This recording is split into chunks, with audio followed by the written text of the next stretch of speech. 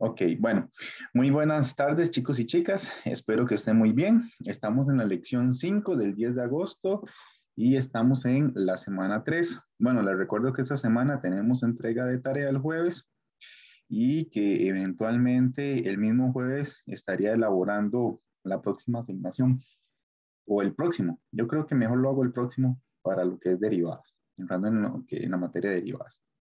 Muy bien, entonces, ¿cuál es la idea de hoy? Hoy vamos a trabajar cálculos de límites al infinito. Esta es la segunda parte con respecto a lo que quedamos hablando la última vez. Y si nos da chance, tampoco precisa, vamos a hablar del tema de continuidad, alguno que otro ejercicio para que entiendan de qué trata.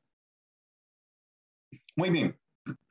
Entonces, la vez pasada quedamos en que algunos límites al infinito este, se tenían que factorizar comenzamos a ver esa técnica de factorizar eh, de una forma muy inusual o tal vez no, no vista este, con respecto a si teníamos polinomio entre polinomio.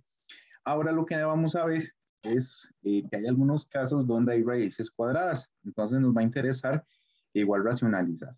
Entonces, en este caso, recuerden que hayamos abordado eso a través de pasos. Entonces, eh, en ese sentido, teníamos que en el paso número cero nosotros vamos a verificar la forma, a verificar la forma. Y hemos estado trabajando la forma este, infinito entre infinito.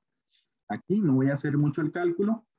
Digámosle, se los dejo a ustedes que lo verifiquen con números muy grandotes. El resultado nos va a dar infinito sobre infinito. En este caso, como hay presencia de raíces, entonces el siguiente paso va a ser racionalizar. Vamos a racionalizar y le vamos a poner aquí la palabra presencia de raíces. Presencia de raíces. Entonces, eh, ¿qué hacemos? La misma situación. Yo calculo límite cuando x tiende infinito. Vamos a escribir exactamente la misma estructura y aquí vamos a multiplicar por este, em, mm, aquí no es un binomio, porque es esto lo que tiene una raíz, entonces vamos a multiplicar por la misma estructura, es decir, vamos a multiplicar por esta estructura que es raíz de x al cuadrado más x más 1 entre raíz de x al cuadrado más x más 1. Aquí no tenemos que buscar eh, un conjugado, es decir, colocar más o menos. Como solamente viene un término, entonces multiplicamos por el mismo. No hay nada más que hacer no hay que pensar en cambiarle el signo a nada de lo que está ahí. Entonces, esto es porque la raíz está cubriendo a todo el numerador. Entonces, hacemos este caso que es muy específico. Entonces, bueno, ahí multiplicamos por esa estructura y en el siguiente paso, eh, dime Stacy, que levantaste la mano. Profe, disculpe, ¿se puede explicar cómo hizo la parte de, de, bueno, el primer paso de nuevo? Es que, perdón, me, es como que se me lagueó un toque la máquina. Ah, sí, claro, el paso uno, dice usted, racionalizar. Sí, porfa, es que como que se me pegó un toque. Sí, claro. Entonces, mira, voy a repetirlo. Mira que aquí el numerador tiene una sola raíz. Entonces, cuando eso sucede, usted aquí lo que hace es que multiplica por un 1 de los que veníamos hablando en clases anteriores. En particular, eh, no tiene más, más técnica que volver a multiplicar o multiplicamos tanto numerador como denominador por la misma expresión que aparece con raíz. Eso es lo único que hacemos si se, si se te presenta una situación de este tipo. ¿Está bien? Entonces, muchas gracias. No, con mucho gusto. Entonces, ese es el comentario. Muy bien. Entonces, ¿qué hacemos, chiquillos, chiquillas? Colocamos todo en una sola fracción y multiplicamos. Esta raíz con esta raíz es lo mismo que tener esta misma estructura al cuadrado, porque se está repitiendo dos veces. Y dentro de ella se coloca la raíz. Entonces aquí cuando hacen este por este es siempre, como habíamos visto, cascarón al cuadrado. Y luego abajo queda exactamente eh, juntitos tanto la x como lo que había agregado. Lo de abajo no le va a pasar nada, sencillamente queda igual. Recuérdense en la regla. Ay, perdón, este es otro. Ese es otro ejercicio. Si ustedes tienen A por A, esto es cascarón al cuadrado y aquí va la letra A. Si es L por L, cascarón al cuadrado y aquí va la L. Si es raíz de L por raíz de L, cascarón al cuadrado y adentro va raíz de L. Entonces, esta idea que estoy colocando en la nubecita es la que estamos aplicando aquí. Al repetirse un objeto dos veces, siempre va con ese cascarón, es decir, esos paréntesis al cuadrado, y adentro se coloca lo que se repite. Muy bien. ¿Todo bien hasta ahí, chiquillos y chiquillas? Sí, profe. Sí, profe. Sí, profe, todo bien, gracias. Ok, perfecto. Chiquillos, ¿qué pasa ahí en ese límite? ¿Qué, ¿Qué sucede? Si ustedes ven esa raíz y ese cuadrado, ¿qué pasa? Pero se puede cancelar la raíz. Ajá, muy bien. Entonces procedemos con eso. Aquí cancelamos la raíz con este 2, con eso que marqué en color azul. Entonces, nos va a quedar el límite cuando x tiende a infinito de x al cuadrado más x más 1 sobre x entre la raíz de x al cuadrado más x más 1. Entonces, ahí sencillamente se va la raíz. ¿Ok? Muy bien. Ustedes dirán, bueno, profe, ahora este, se supone que ya nosotros tendríamos listo el resultado. Entonces, eh, ¿qué es lo que podemos hacer? Nosotros lo que podemos hacer es, observen que aquí hay una X que está multiplicando. Entonces, aquí arriba también podríamos sacar una X, pero vean que aquí tenemos un X al cuadrado.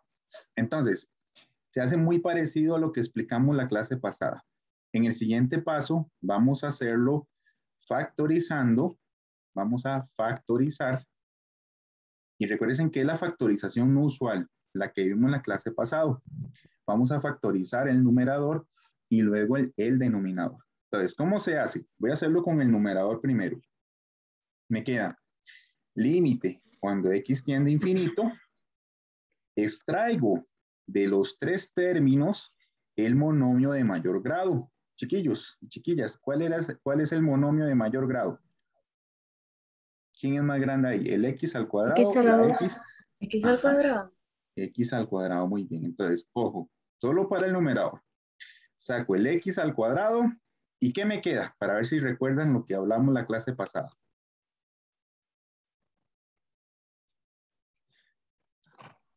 Estamos repasando, si se acuerdan, pues bien, y si no, pues obviamente yo les voy diciendo. Sería uno. Muy bien, aquí queda un uno, muy bien. Más.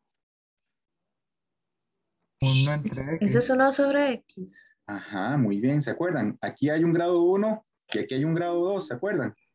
Sí. Entonces, 2 menos 1, 1, ¿verdad? 1. Entonces quiere decir que queda una X, pero aquí con potencia 1. Esa fue la reglita que vimos. Más. ¿Y ahora qué queda, chiquillos? 1 sobre x a la 2. Ahí va a quedar muy bien. 1 entre x a la 2. Las constantes técnicamente quedan divididas entre lo que estoy extrayendo. En este caso, el x a la 2. Eso es lo que hay que hacer ahí. No hay ningún problema. ¿Todo bien? ¿Todo bien hasta ahí, chiquillos y chiquillas? Sí, profe.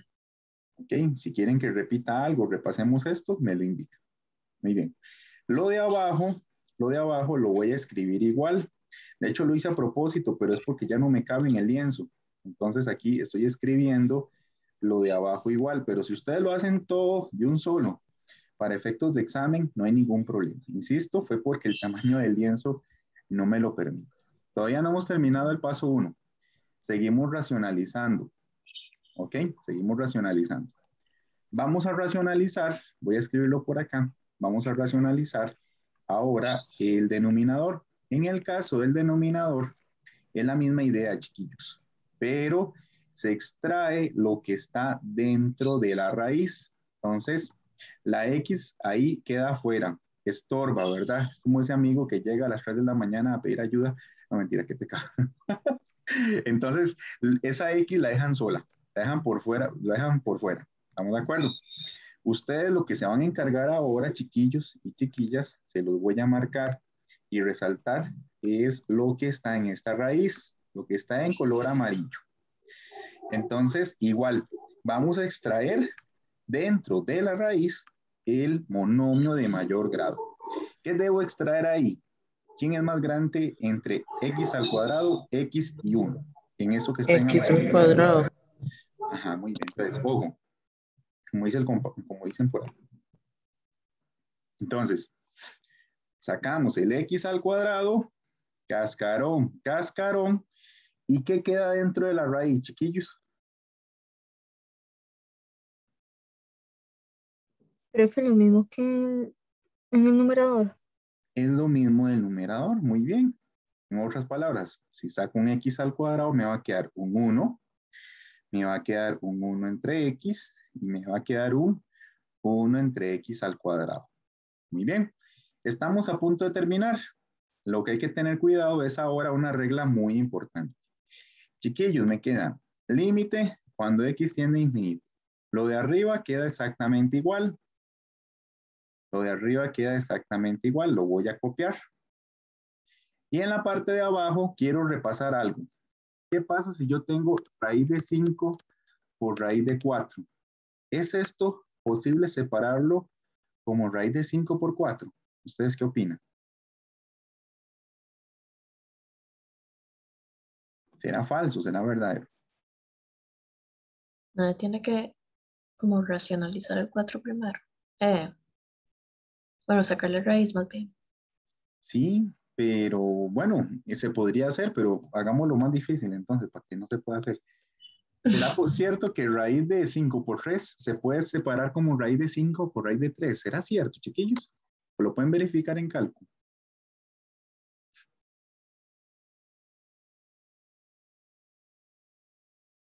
O sea, la raíz de 15 es lo mismo que raíz de 5 por raíz de 3, ¿o no? ¿Qué opinan? Verifíquenlo, díganme, ¿qué les dice la calculadora? Que sí es cierto, a mí me sale. Es lo mismo. Es lo mismo, ¿verdad? Siempre y cuando tengan números positivos, que quede aquí en la grabación. Entonces, chiquillos, raíz de A por B la puedo separar como raíz de A por B. Esta es una propiedad que es correcta, siempre y cuando A y B sean números reales positivos. Entonces, si A y B pertenecen a los reales positivos, esa separación siempre es correcta. Aquí nosotros estamos trabajando con X que tiene infinito, infinito positivo. Es decir, son números positivos eh, muy grandes, pero son positivos. Entonces, aquí yo podría separar esto como X, observen, como raíz de X al cuadrado por raíz de 1 más 1 entre X más 1 entre X al cuadrado. Entonces, ¿qué fue lo que hizo el señor Rayman? El profesor Rayman. El profesor Rayman dijo, ah, yo tengo, yo tengo la raíz de X, perdón chiquillos, que eso está pegado.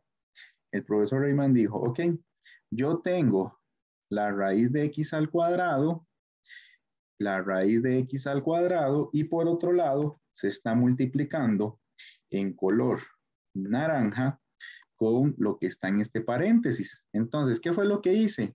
Lo que hice fue separar en la raíz de lo que está en color verde o la raíz de lo que está en color naranja. ¿Sí me entendieron lo que hice? ¿Dudas, preguntas?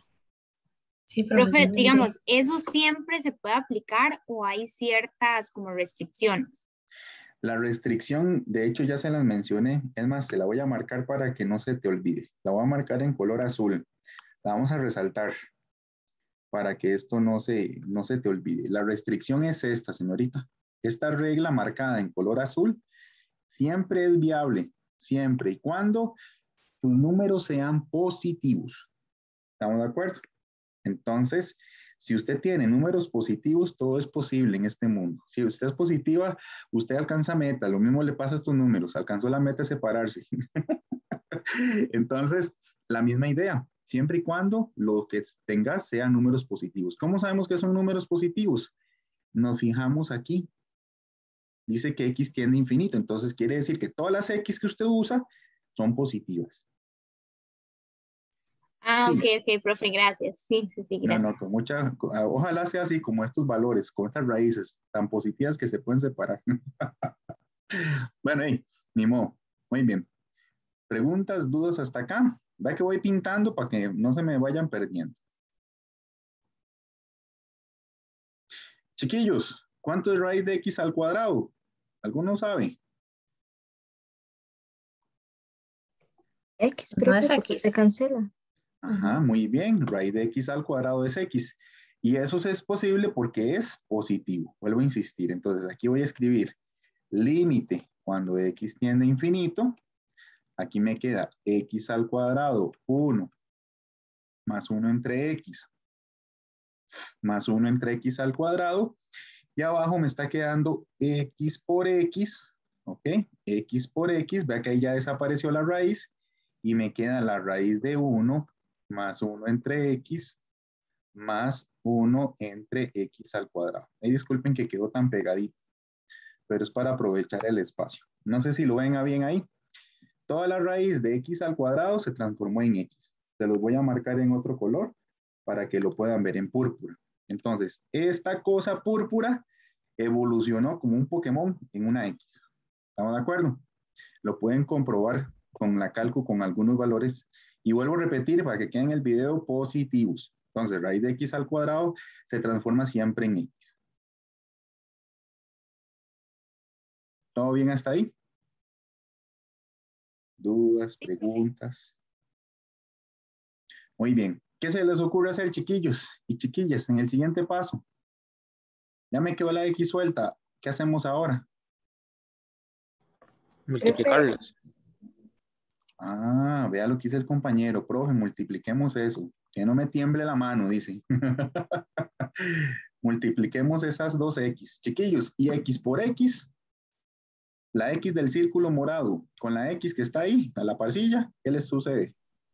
X a la 2. Ajá, muy bien.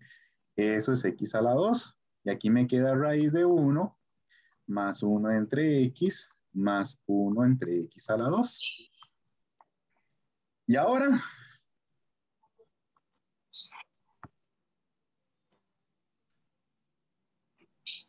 ¿cuál era el paso número 2?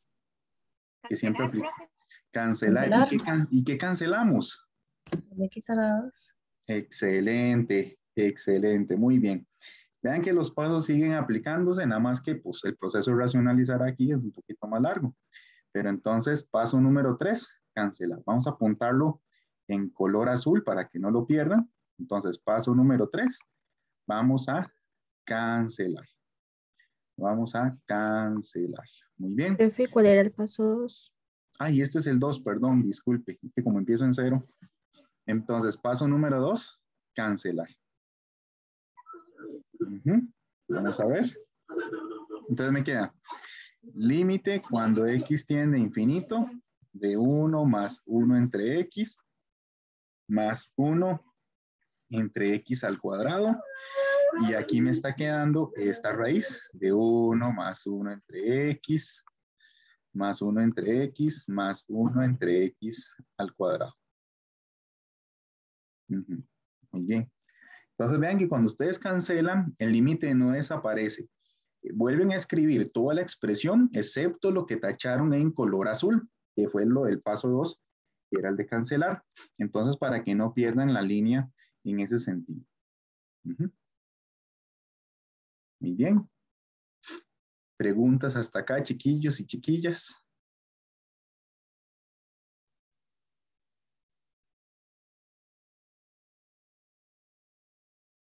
Ok. Vamos a ver. Bueno, ahí.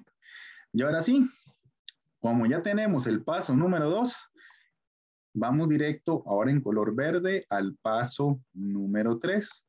Y el paso número 3, como decía alguna compañera la vez pasada, es sustituir o reemplazar. Eh, yo he visto que esto me lo han mandado con, con, con cálculos. Entonces, para estos límites, usualmente voy a colocar una flecha encima de la expresión que ya yo sé que va para cero. Entonces, explico esto. El 1 no tiene ninguna letra X. Entonces, ese lo dejamos ahí. Al calcular un límite queda igual. Vemos que aquí hay un 1 entre X. Entonces, ¿qué es lo que hago? Rayman le coloca una flecha en esta posición y pregunta por el límite. Chiquillos, ¿cuál es el límite cuando X tiende a infinito de la 1 de 1 entre X? ¿Qué era lo que habíamos dicho? ¿Para dónde va eso? Quedaba cero. eso va a ser cero.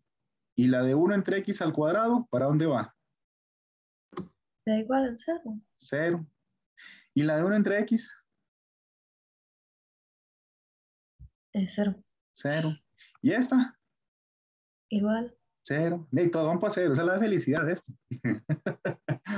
Chiquillos, ¿qué queda sin pintar y sin haberle trazado flechas de color verde con un cero al final? ¿Qué fue lo único que quedó?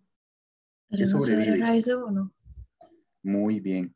Entonces, ojo, cuando ya dan la respuesta, el límite no se coloca. Solo escriben 1 sobre raíz de 1, porque esto y esto es lo único que no está pintado de color verde. Y 1 entre raíz de 1, pues va a ser 1.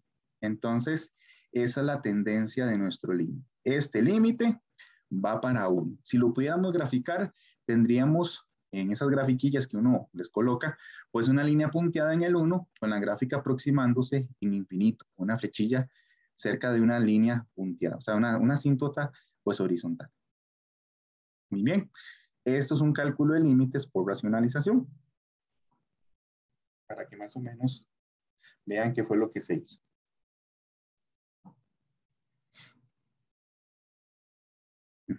¿Todo bien hasta ahí?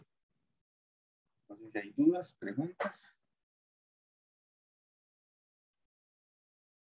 No sé si alguien está copiando.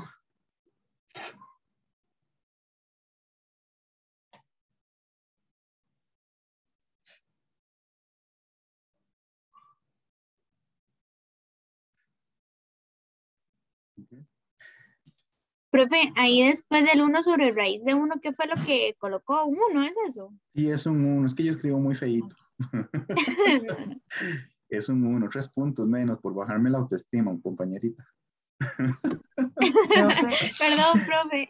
No, no, así, así vamos, así vamos, yo entiendo. No, mentira. Son mentiras. ¿Alguien me llamó? Dime. Yo, eh, una pregunta, ¿cómo sé cuando la parte de racionalizar, cuando tengo que multiplicar, sumar o restar? ¿Cuándo tiene que multiplicar, sumar o restar? Eh, ¿A qué te Sí, refieres? ¿A allá, los- allá como al principio, ajá, ahí. Ah, este, no, ya te di el tip. Si usted llega y Ujú. usted ve esta cosa, ¿verdad? Es como cuando usted escanea, ¿verdad? Este, no sé, una pizza, que está bien rica la pizza, ¿verdad? Entonces usted, lo primero que se va a fijar es qué tiene aquí. Entonces, yo lo que Ujú. primero te doy como observación es que mira que hay una sola raíz. Entonces, si hay una sola raíz, siempre el truquito o el truco que vamos a implementar, el ardid, es multiplicar arriba y abajo por esa estructura que tenga la misma raíz. Ese va a ser como el inicio para poder avanzar. Profe. ¿y si apareciera la profe. raíz en el denominador?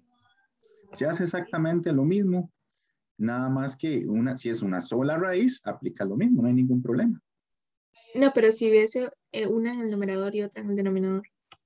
Ah, este, yo, yo voy a evitar que eso pase. sí puede suceder, pero usualmente eh, se deja para los chiquillos de cálculo porque es más largo el procedimiento. Entonces, sí, se, sí existen, pero este, son más largas y más complicadas. Entonces, fijo, le sale así, con una sola raíz, o el otro caso que, que tenemos aquí a la par, en la que sigue. Ah, ok, profe, gracias. Ok, no se asuste, no se asuste. Ya ahorita resolvemos, resolvemos otra situación. Muy bien, ¿alguna otra pregunta, chiquillos y chiquillas?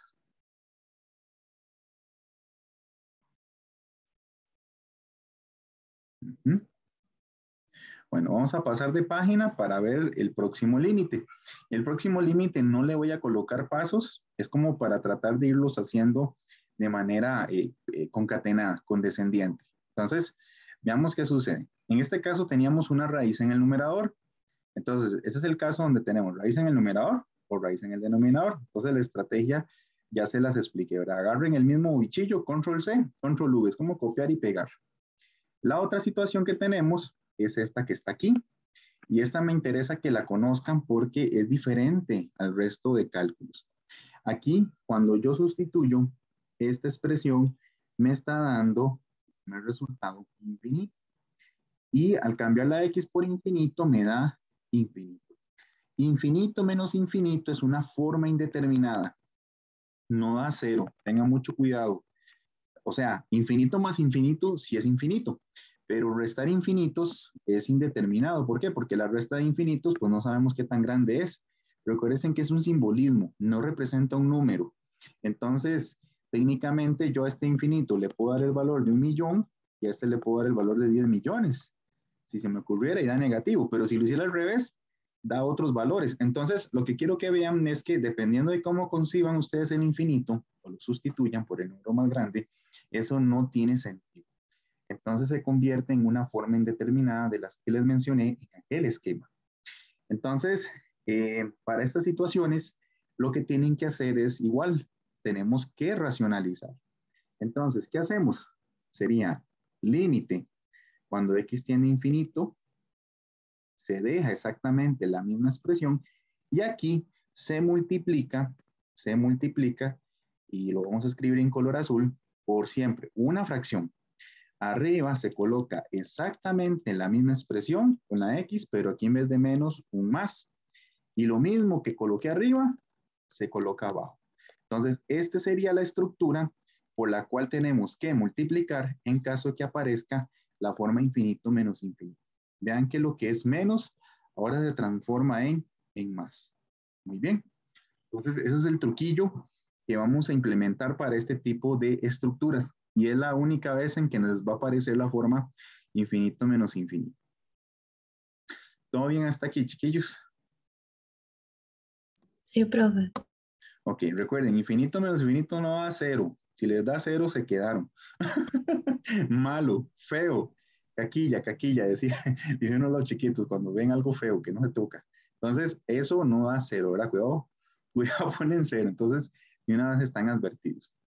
Entonces, chiquillos, es la misma... Ajá.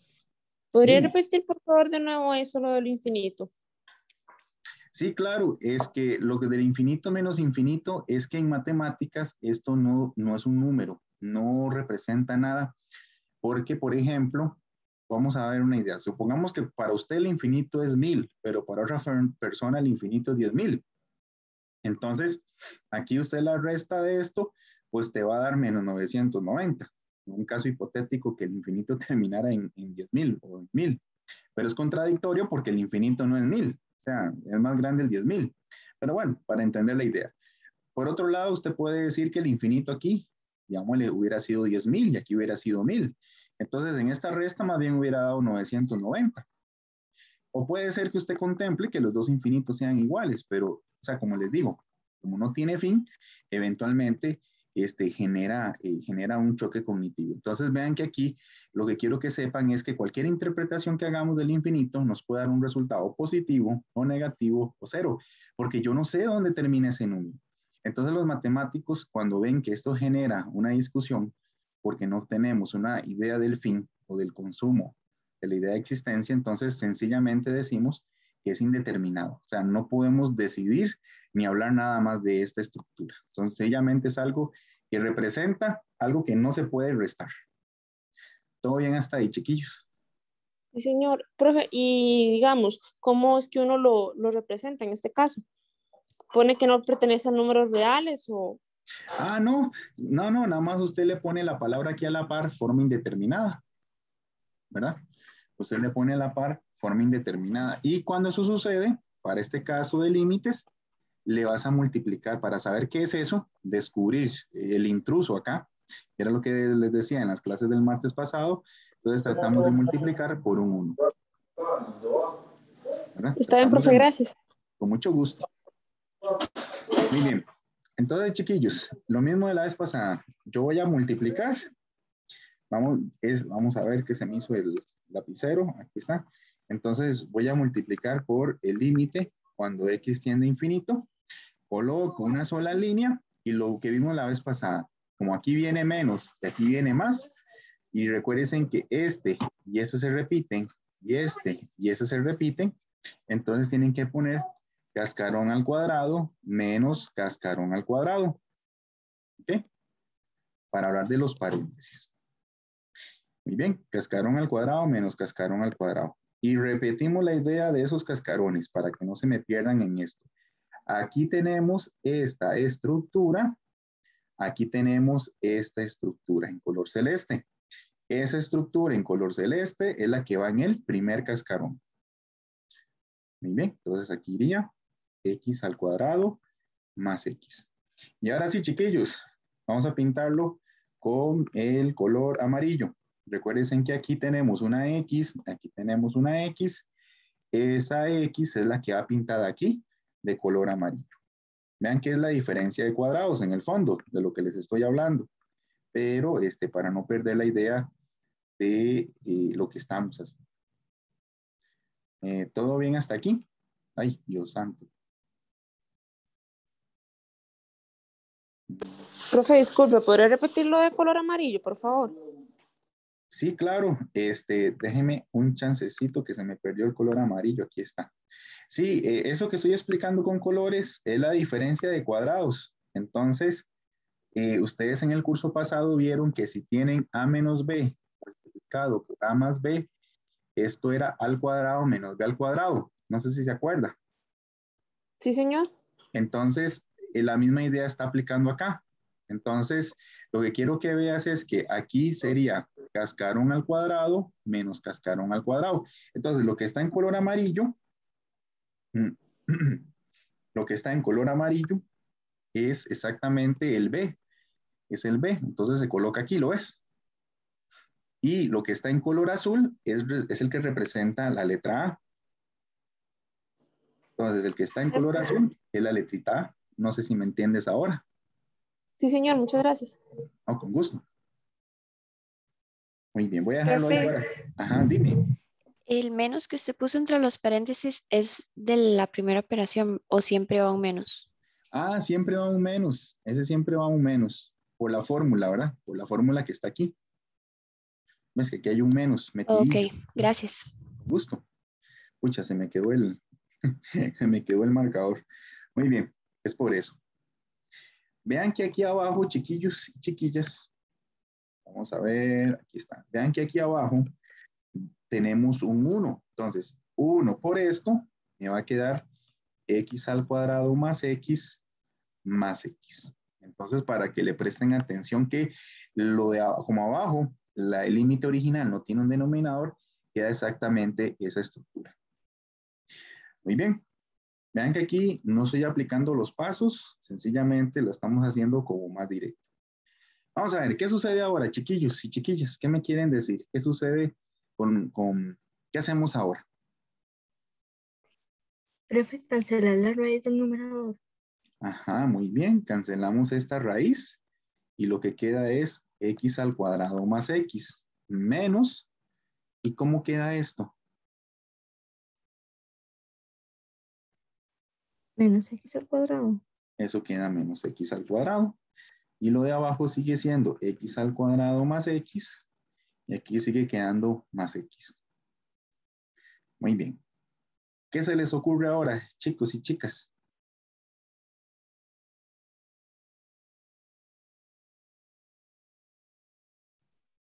Profe, y las x de las dos se quitan porque como se están restando. Muy bien, cancelamos las x al cuadrado. Cancelamos y nos queda límite cuando x tiende a infinito de x sobre raíz de x al cuadrado más x más x. Entonces, técnicamente ahí ya estamos cerca del resultado. ¿Qué vamos a hacer ahora? Vamos a hacer exactamente lo mismo de lo que hemos hablado. Vamos a sacar el mayor exponente en el numerador, el mayor, perdón, el mayor monomio en el numerador y el mayor monomio en el denominador. En este numerador, vean que ya hay una X, ahí no hay nada que hacer. Ahí ustedes no se preocupan y no tenemos que hacer nada. Pero este, en el denominador que viene, tenemos dos estructuras, la raíz y esta X. Entonces, igual que les explicaba antes, ustedes analizan esa estructura y buscan cuál es el mayor monomio que hay ahí. ¿Quién sería el más grande, el X al cuadrado o la X?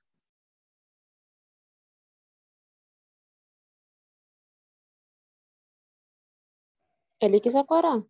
Ajá, muy bien. Entonces, X al cuadrado. Dejo un cascarón. ¿Y qué quedaría ahí adentro? Es decir, saco el x al cuadrado, pero ¿qué quedaría entonces de sacar factor común?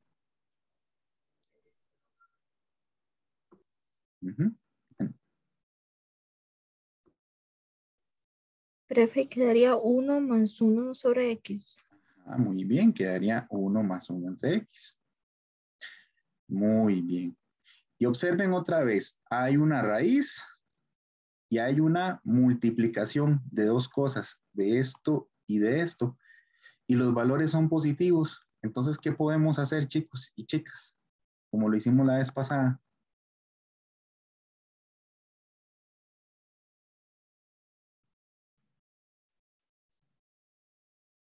Separarlos dos. Ajá, muy bien. Vamos a separar en raíz de x al cuadrado por la raíz de 1 más 1 entre x. Exactamente. Y aquí me queda más x. Moraleja de la vez pasada, ¿en qué se transforma raíz de x al cuadrado? En X, ¿no? En x, ¿verdad? Porque los valores son positivos. Entonces me queda x, x, y aquí me queda raíz de 1 más 1 entre x más x. Muy bien. Muy bien. ¿Todo bien hasta ahí? No hicimos nada más. Bueno, sí hicimos algo raro, pero de lo que les he explicado fuera, no. Muy bien. Lo que quiero que observen para el siguiente paso, que es una de las cosas que hay que ser este, agudo con el cálculo, es que observen que aquí hay una X y aquí hay una X que se repite. Entonces yo lo que voy a hacer es sacar a factor común una X. Eso es lo que vamos a hacer. Entonces, me queda límite cuando X tiende a infinito. Me queda la X, pero aquí las X en amarillo se repiten. Entonces, extraigo una X, me queda 1 más 1 entre X y aquí me queda más 1. ¿Ok? Si yo vuelvo a distribuir esta X en el denominador, me quedan las dos X que están en amarillo. Entonces, quiero que vean eso, que saqué la X, eh, hay dos X que se repiten, entonces extraje una. ¿Todo bien hasta ahí, chiquillos? Profe, yo te me quedé con duda en el último paso. Es que, digamos, usted sacó la X a factor común. Sí. Y- Ajá. ¿Y después? Sí, vea, esta saqué una X a factor común, que es la que está en amarilla, entonces quedó aquí afuera, ¿está bien? Y la estructura ahora vea que no tiene nada, ya no tiene una X delante de la raíz. Aquí observa que hay una X, pero a la hora de sacar la factor común me quedó un 1. Y entonces esa X que saqué es la que queda aquí adelante multiplicando en paréntesis a todo esto. Ah, bueno, está bien, profe, gracias.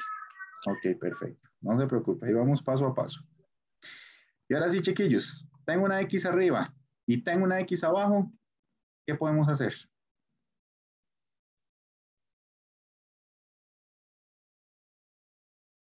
Cancelar. Eh, cancelamos, muy bien. Entonces vamos a, vamos a marcarlo.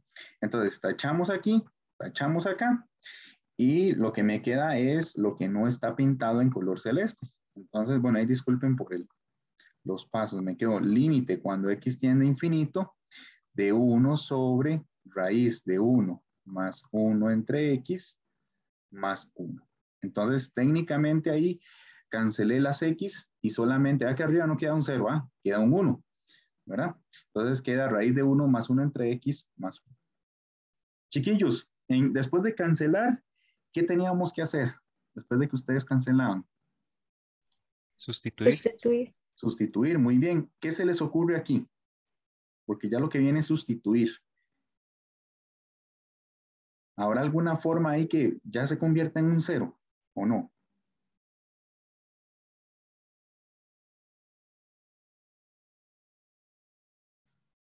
Por ejemplo, este 1 no tiene letra X.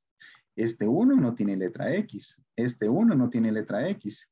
Pero esto que está aquí, chiquillos, ese 1 entre X, ¿en qué se convierte? En cero. En cero, muy bien. Entonces ya sabemos, como el límite va para infinito, de 1 entre X, ya sabemos que esto va para cero. ¿Qué sobrevive? ¿Qué sobrevive Es decir, ¿qué queda y qué es lo que no está pintado en color verde? Ya sin el límite, ¿qué quedaría? Vamos a ver, queda un 1 arriba. ¿ah? ¿Y abajo qué quedaría? Raíz de Dos. 2. De uno más uno. Ajá. Quedaría 1 más 0, que fue el que se transformó en 0, más 1. Entonces me queda 1 entre raíz de 1, que es 1. Sería 1 más 1. Y eso me va dando un medio. Entonces, este límite tiende hacia un medio. Vean que el 1 entre x se transformó en 0. Y vean que yo aquí ya no escribo el límite, porque ya después de que hago la sustitución, se aplica o ya queda el cálculo de, de la aproximación. Dudas. Ajá. ¿Me podría repetir de nuevo lo que marcó en verde? Es que, digamos, usted lo, lo, lo quitó, digamos, pero ¿por qué? Ah, es que en la clase habíamos visto que, recordarte que yo calculo el límite. ¿Vos te acordás que vimos que este tipo de límite siempre dan cero, verdad? Ajá. Muy bien. Entonces, lo que está sucediendo es esto. Entonces, mira, señorita, ¿qué pasa si yo tuviera el límite de 1 de 1 entre x? Si tuviera que calcular esto. En el fondo, yo lo que hago es que calculo el límite a las dos cosas. Le calculo el límite al 1 y le calculo el límite al 1 entre x. Entonces, ya sabemos que esto siempre va para 0. Y ya sabemos que el límite de una constante, de esas propiedades que vieron con Samuel, esto siempre es 1. Entonces, 1 más 0 me da 1. ¿Sí me sigues hasta acá? Sí, señor, está bien, gracias. Ok. Muy bien. Entonces, ¿qué pasa, señorita? Nada más, si yo tuviera que calcular este mismo límite, pero en vez de esto yo tuviera una raíz cuadrada. Entonces, usted no se preocupa ni por la raíz ni por el 1, solo se fija en todo lo que tenga 1 entre x. Entonces, aquí nada más usted sabe que 1 entre x va para 0. Entonces, solo te quedaría 1 más 0, que sería la raíz de 1, y esto va a ser 1. Entonces, en el fondo hay que hacer, hay que sacar el límite a cada una de las partes, pero usted solamente le saca el límite a lo que tenga 1 entre x o 2 entre x a la 3, y ya sabes que va para 0, y ahí el límite entonces ya desaparece. Está bien, profe, gracias. Ok, perfecto. Muy bien. Otra duda, chiquillos y chiquillas. Igual, esto, estos son los que pues hay que trabajarlos más, o sea, tienen más de desarrollo. Entonces, es bueno estarlos practicando, practicarlos para que no les quede o no se queden con solo esto que, que estamos haciendo, ¿verdad? Muy bien. Entonces, si no hay-. Ajá, dime. Yo tengo una pregunta, pero no sé si es necesariamente del ejercicio. Cuando usted dice que algo tiende a cierto número, eso, o sea, digamos, ¿qué significa? Cuando tiende significa que se aproxima. Eso significa que se aproxima. Entonces, la tendencia, eh, que es el sinónimo de, en otras palabras, de convergencia, entonces eh, significa que usted cada vez que sustituye valores como en una tabla, como lo hacían con Samuel, entonces ustedes ven que los valores están dando, por ejemplo, 1.99, 1.97, 1.01, 1.001, 1.0001. Entonces eso quiere decir que en el infinito, a pesar de que no sepamos el valor, yo sé que en realidad se acerca al 1. Se, o sea, los valores se acercan tanto a 1 o se parecen tanto a 1 que en 1 o a la hora de uno hacer los cálculos, uno nada más coloca el 1 como resultado. Pero es eso, que se comportan muy cerca de ese valor. Entonces uno coloca esa respuesta. Ok, muchas gracias. Ok, no, no, con gusto. Sí, es un tema, eh, lo que son límites son puras aproximaciones. Entonces, cada vez que yo tengo este tipo de aproximaciones, siempre es bueno, eh, si se puede, ¿verdad? Usar una gráfica para ver hacia dónde se comportan y luego, obviamente, trabajar con la parte del cálculo. El cálculo, si han visto, son técnicas de racionalizar o factorizar. Eso es lo que nos interesa, bueno, para efectos de ustedes. O sea, que sepan racionalizar y factorizar para poder evitar graficar y que se empoderen de esta parte del cálculo, ¿verdad? Que pues tiene su, su maña, ¿verdad? Muy bien. Muy bien, chiquillos y chiquillas. Entonces, este, ¿qué vamos a hacer? Vamos a aprovechar entonces para ver límites, seguir viendo límites al infinito, pero vamos a trabajar los límites exponenciales y logarítmicos, ¿ok? Entonces, miren, aquí ya están las dos reglas. Estas que están aquí son como las reglas que nos interesan el día de hoy, de límites exponenciales y logarítmicos. Yo lo que quiero que sepan es que ustedes lo pueden hacer con valores o pueden recordar la gráfica. Entonces, del curso pasado, ¿ustedes se acuerdan cuál era la gráfica de la exponencial? ¿Alguien se acuerda cuál era la gráfica de e a la x? O de 2 a la x. ¿Qué se acuerda? Profe, no era asíntota al eje X. Ajá, muy bien. Y era, y, ve- y vean que es 2, ¿verdad? Eh, ¿Se acuerdan que esta era la base? Entonces, ¿cómo era la función? ¿Creciente o decreciente? ¿Qué se acuerda? Si mal no recuerdo, la función es creciente en este caso. Ajá, muy bien. Entonces, vean, la función es creciente. Y vean que aquí es decreciente. Entonces, chiquillos, ¿qué pasa si yo les pregunto, ¿cuál es el límite cuando x tiende a infinito de 2 a la x? Es decir, ¿hacia dónde va esta flecha? ¿Qué pasa si yo me voy al infinito? Si análisis de gráficas. ¿Qué pasa con esta flechita? ¿Para dónde va? Pero el infinito. Eso va a ser infinito, muy bien. Pero ¿qué pasa si yo les pregunto por el límite cuando x tiende a menos infinito de 2 a la x? ¿Qué pasa en la otra punta? ¿Hacia dónde se aproxima esa punta?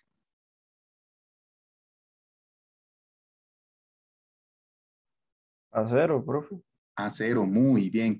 Entonces, eso es lo que pasa siempre con una función exponencial creciente.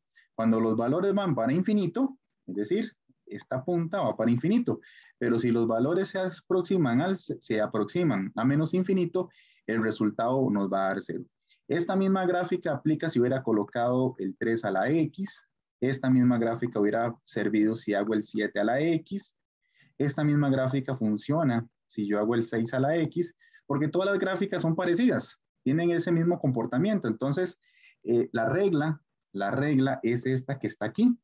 Siempre vamos a tener infinito o cero en el caso de ese comportamiento. Infinito o cero si la base siempre es mayor que 1, que es lo que vimos con el ejemplo del 6 a la x. Si me siguen hasta ahí la regla, eso es recordarse la gráfica de la exponencial y estudiar los límites en infinito. ¿Qué pasa si yo hubiera colocado un medio a la x? ¿Cómo es la gráfica de esta función, chiquillos? De un medio a la x. Es decreciente. Ah, es decreciente. Es así, ¿verdad? Entonces, ¿qué sucede si les pregunto por los límites en infinito y en menos infinito de esta gráfica? De un medio a la x. ¿Cuánto darían según viendo la gráfica? Es un medio. Entonces, ¿qué pasa en infinito? ¿Qué pasa en esa punta de flecha? Eso es una flecha, se supone que es la más fea.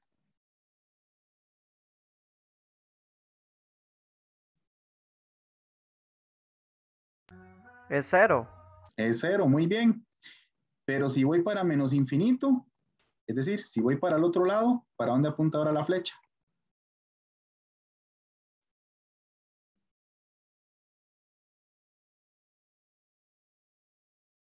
Para más infinito. Para más infinito, muy bien. Y eso es todo, chiquillos. Ese es el resumen del cálculo de límites exponenciales en infinito.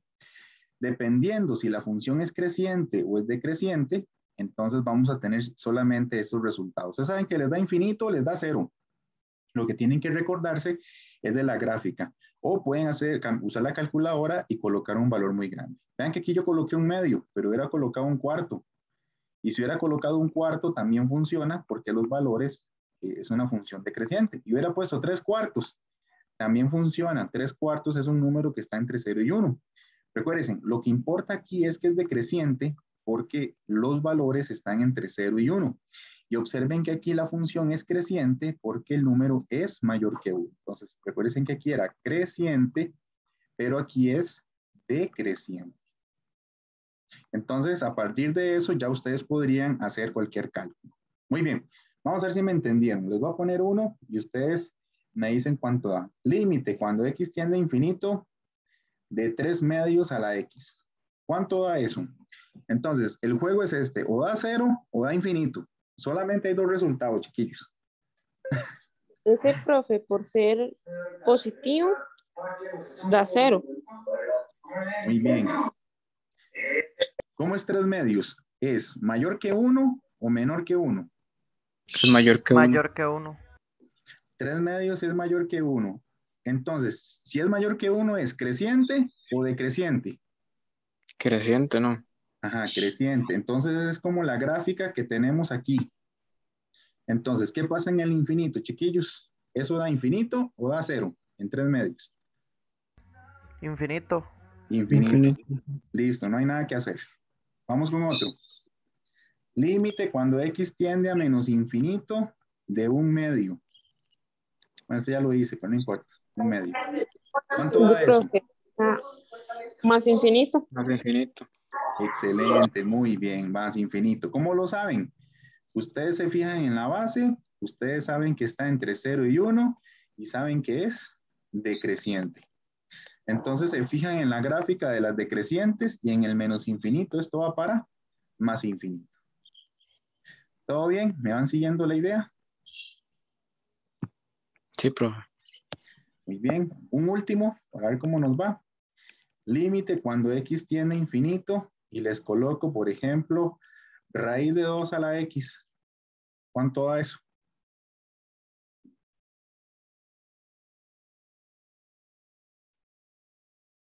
Tienen dos resultados, o cero o infinito, o es gallo o es gallina. Infinito. Infinito. Infinito, ¿por qué? ¿Por qué da infinito? Porque la raíz cuadrada de 2 es mayor a 1. Ajá, y es un, entonces quiere decir que la función es creciente y de acuerdo a la función, a la gráfica, va para infinito. Muy bien. Eso es todo, chiquillos. Esto no, vean que no es nada del otro mundo, pero sí tienen que tener muy claro los dos tipos de gráfica. O crece o decrece y a partir de ahí se fijan en las puntas. ¿Estamos de acuerdo? Eso es lo que tienen que hacer. Muy bien, ¿dudas o preguntas hasta acá?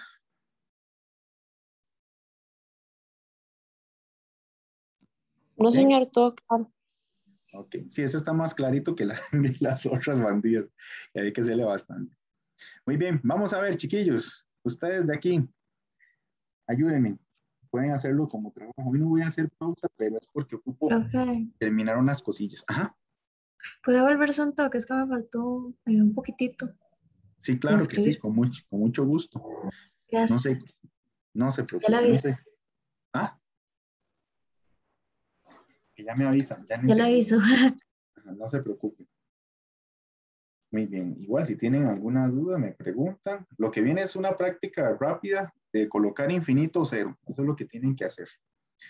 Pero no sé qué dice el celular. Si no se las hubiera enviado, bueno, no importa. Ho- Hoy no vamos a hacer pausilla, chiquillos, pero es para poder terminar, terminar hasta donde podamos. Eso, Yep. es, eso sí. Ya, Ok, perfecto. Igual se pueden ir a gracias. Muy bien, ahora sí, chiquillos. Ustedes me ayudan. ¿Cuánto darán esos resultados? Pueden graficarlos. Si quieren, grafican tres medios a la X en algún software. Yo no tengo ningún problema. Entre más claro les quede, mucho mejor. El primero es más infinito. Dice el compañero que el primero es infinito, positivo. Está bien. A veces le pongo el más, a veces no, no hay problema. Ahí ustedes me van diciendo y ahorita revisamos. Ese El segundo cero. cero, profe. Dice el compañero, otro compañero, que el segundo da cero. Ajá. Profesor, otra, la de pi a la x también da 0. Dice la compañerita que este da cero. El último es infinito. Y el último es infinito. Muy bien. Muy bien, seguimos apostando el curso. Muy bien, chiquillos. Muy bien. ¿Cómo es la gráfica de tres medios? ¿Es creciente o es decreciente? ¿Cómo es tres medios a la X? Creciente. Presente. Creciente, muy bien, entonces perfecto. Verificamos el límite cuando x tiende a infinito de tres medios es infinito. Sí, la punta de esta flecha apunta al infinito. Entonces la primera es correcta. Muy bien, vamos con 1 sobre e a la x. ¿Cómo es esta función, chiquillos? ¿Es creciente o decreciente? Es decreciente, profe. Muy bien, es decreciente. Perfecto. Dice que nos interesa el infinito. Entonces nos interesa esta punta de flecha. En efecto, esta punta de flecha se aproxima al cero. Entonces es correcto. Chiquillos, ¿cuánto es pi a la x? ¿Es una función decreciente o es una función creciente? Creciente. Es creciente. Es creciente, muy bien. Dice que nos interesa el menos infinito, es decir, nos interesa esta punta de flecha. Ah, y va para cero. Entonces es correcto. Muy bien. Y nos falta pi a la x, que es la misma, pero ahora nos interesa el infinito. Vamos a escribirla aquí de nuevo. Entonces nos interesa esta punta de flecha. Dice que da infinito y es correcto. Listo. Entonces, eso quiere decir que en efecto los resultados están correctos. ¿Todo bien hasta acá? ¿Dudas? ¿Preguntas?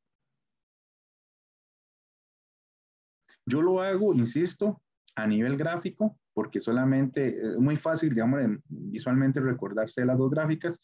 Si ustedes en la práctica les cuesta, pueden usar la calculadora y cambian la X por un número muy grande positivo o un número muy grande negativo.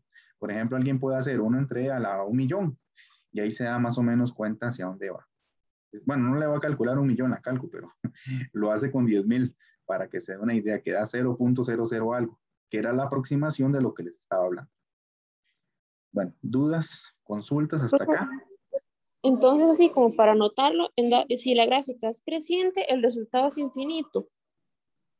Si la tendencia es hacia, es hacia infinito, es infinito, sí. O sea, pero si es creciente, Ajá. Pero si es decreciente, es cero. es cero. Ajá. Está bien, profe, gracias. No, no, con mucho gusto. Sí, aquí siempre tienen esos dos resultados. Si es creciente, eh, va para infinito, pero si es decreciente, da cero. En el caso que el límite vaya hacia más infinito. ¿Alguna duda, pregunta hasta acá, chiquillos? Otra preguntilla.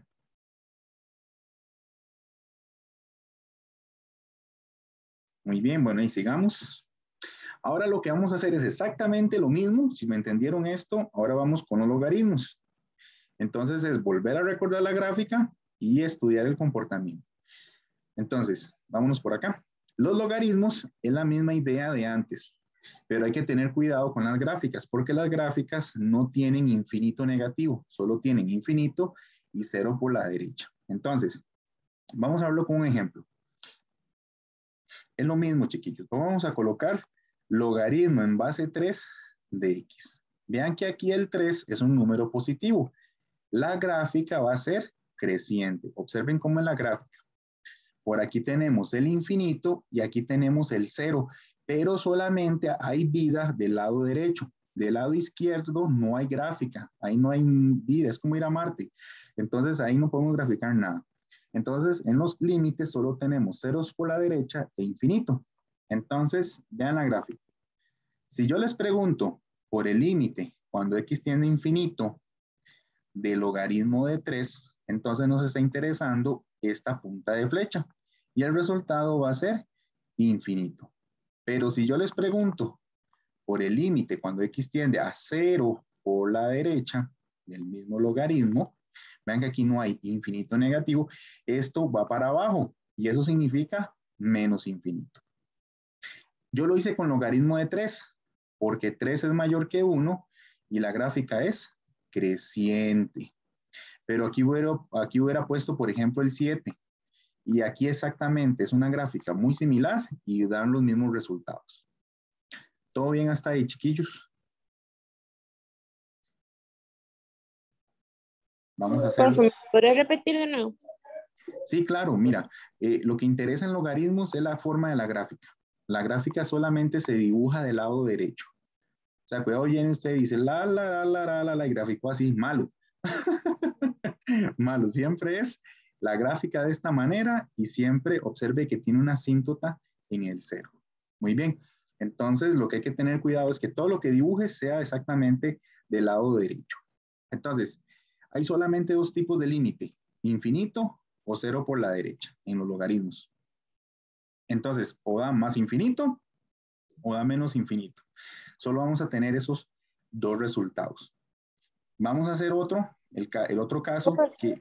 Pero ajá. digamos, en este caso yo tendría que basarme para saber qué resultados da en lo que me dan de límite. Sí, en el límite y en la base también, porque vea que aquí es un 7, entonces la función es creciente, como en las exponenciales. Pero si tuvieras un número entre 0 y 1, entonces la gráfica es- es- hay que darle vuelta, ¿verdad? Entonces, si quieres le damos vuelta a la grafiquilla y ahorita trabajamos ese otro lado para que lo veas. Esta que está aquí es logaritmo de, voy a inventármelo, de un medio de x. ¿Por qué escogí un medio? Porque un medio está entre 0 y 1 y es decreciente. Entonces, solamente hay dos límites, chiquillos, que les pueden pedir. Les pueden pedir el 0 por la derecha o el infinito.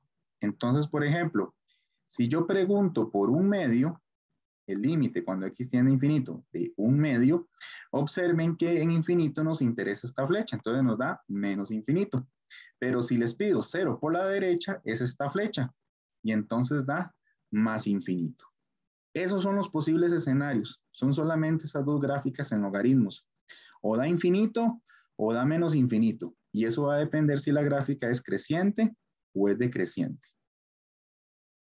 Y eso es lo que resume esto que está aquí, todo eso que les escribí. Entonces, vamos a ver si me entienden.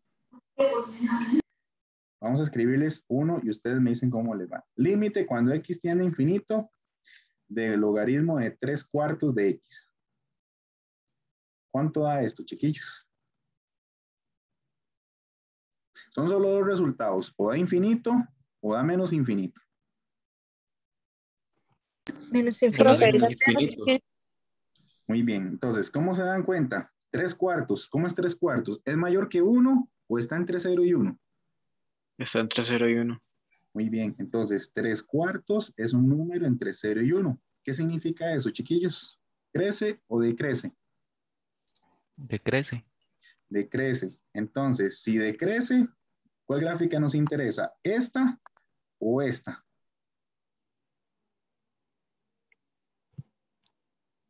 ¿La 1 segunda. o la 2? La segunda. La segunda, muy bien. Y en la segunda, ¿qué pasa con los valores que van hacia infinito? Vean que la flecha apunta hacia abajo. Entonces eso quiere decir que da menos infinito. Muy bien, eso es todo. No hay nada más que hacer. Vamos, vamos con el otro. Límite cuando x tiende a 0 por la derecha del logaritmo de este 4 de x. ¿Cuánto da ese resultado? Recuerden que solo hay dos resultados, infinito o menos infinito. Menos infinito.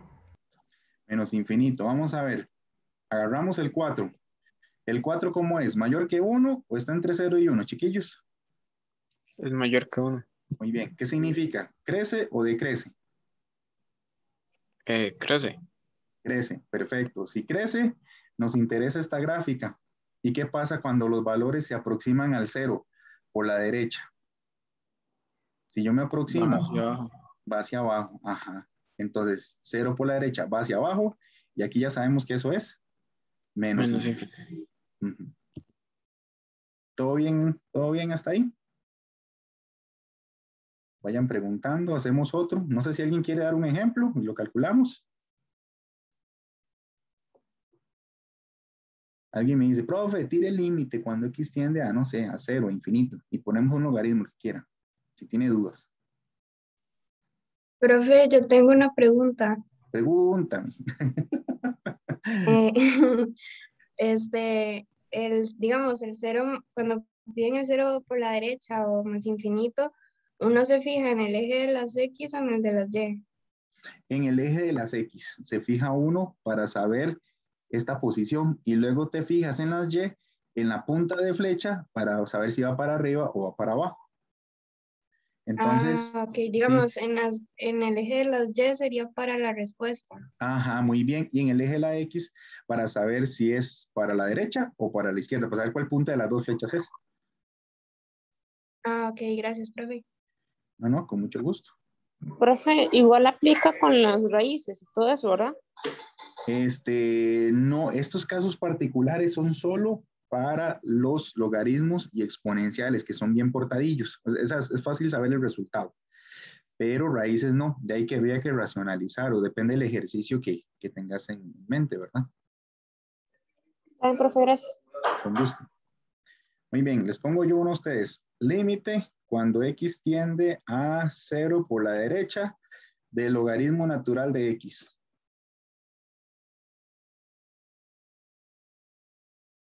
¿Cuánto dará? Menos infinito. Excelente, porque el logaritmo natural es creciente. Y si yo me aproximo al 0 por la derecha, la flechita apunta hacia abajo. Entonces es menos infinito. Muy bien, está volando ese muchacho, qué miedo. Último, límite cuando x tiende a más infinito. Es más, vamos a poner límite cuando x tiende a menos infinito y le vamos a poner logaritmo de un medio, perdón, de un cuarto de x. ¿Cuánto dará eso?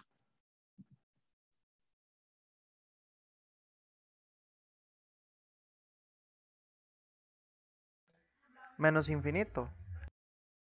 Vamos a ver. La pregunta del millón. ¿Dónde está el menos infinito?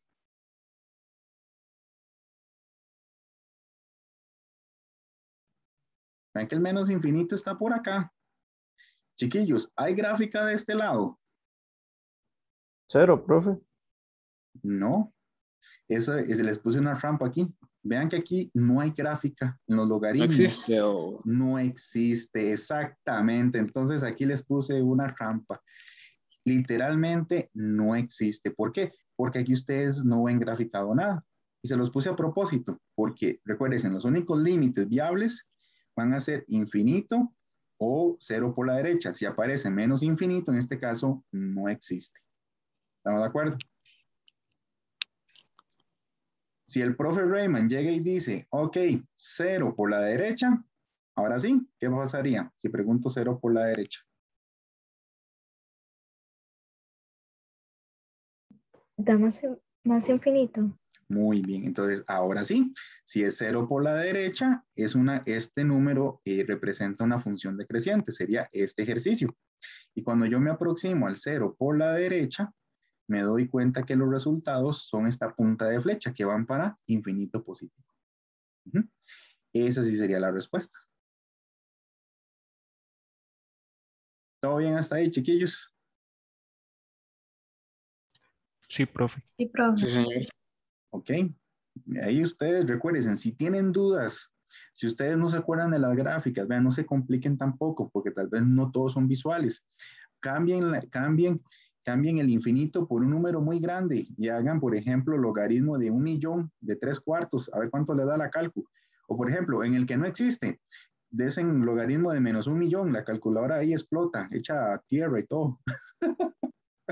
Entonces les da que no existe.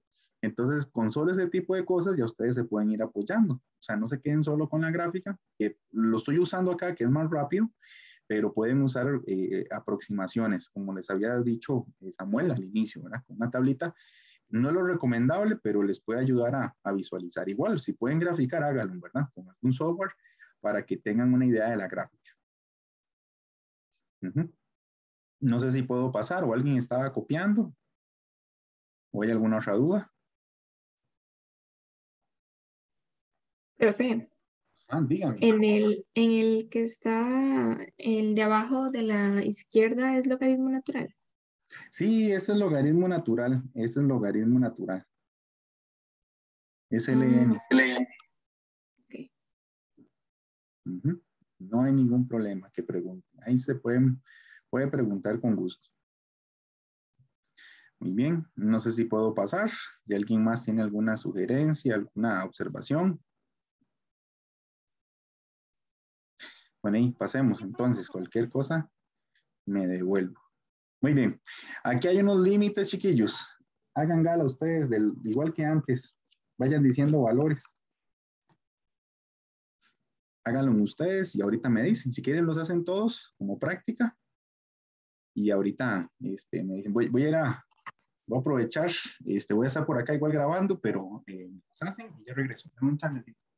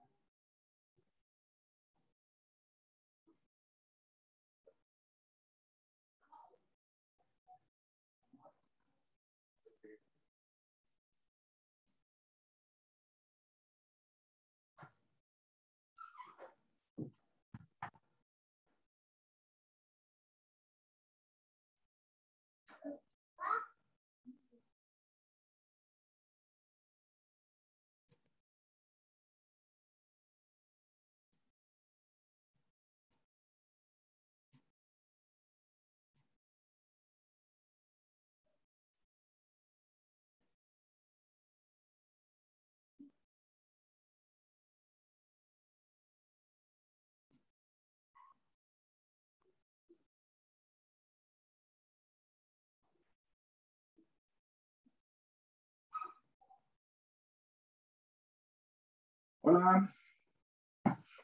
Ay, ya regresé. ¿Cómo me les fue? Bien, profe. A ver, ¿cuánto les dio el primero? No sé, el que quiera. Ahí, sin pena. Más infinito. Más infinito. Ajá. Muy bien, dice el compañero que ese da más infinito.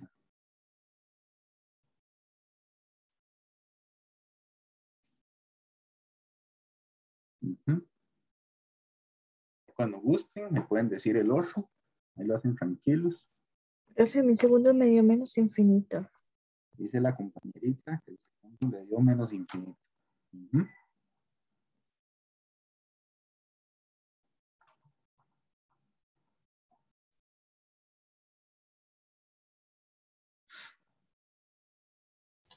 El tercero da menos infinito.